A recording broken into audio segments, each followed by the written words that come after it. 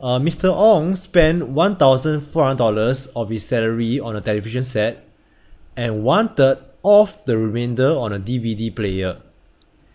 If he had one fifth of his salary left, how much was his salary?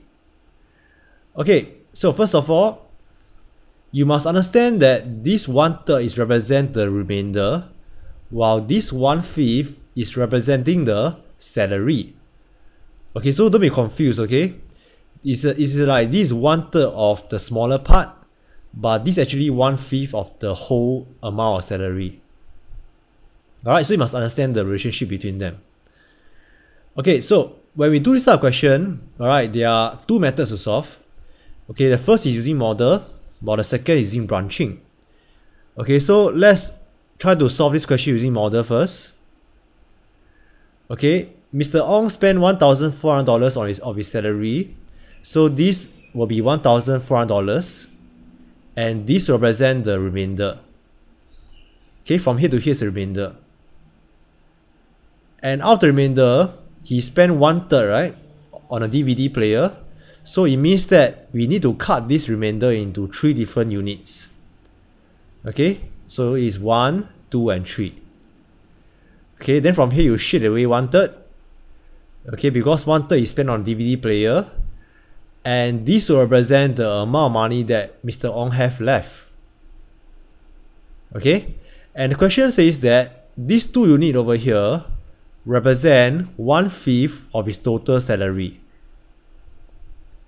Okay, and now if here is one fifth, what is the fraction representing the amount from here to here?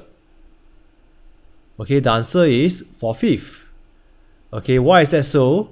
Because this portion over here plus this portion over here must give you one whole. Correct? And since this is 1 fifth, so this will be 1 minus 1 fifth, which will give us 4 fifth. Okay? And now, we can see that 1 fifth over here represent 2 units.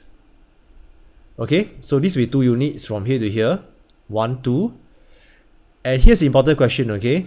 If 1 fifth represent 2 units, how many units will 4 fifth represent? Yes, the answer is 8 units. Okay, you simply times 4. Okay, the reason why because 4 fifth is 4 times of 1 fifth. Okay, so when, when here times 4 become 4 fifth, the 2 units must also times 4 to give us 8 units.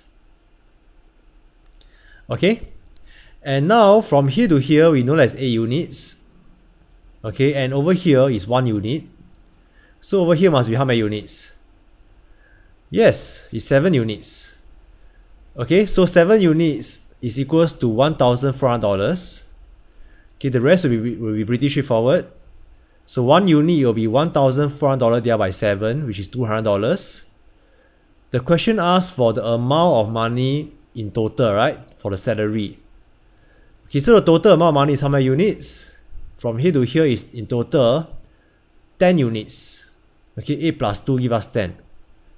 Alright, so 10 units will be $200 times 10, which will give us $2,000.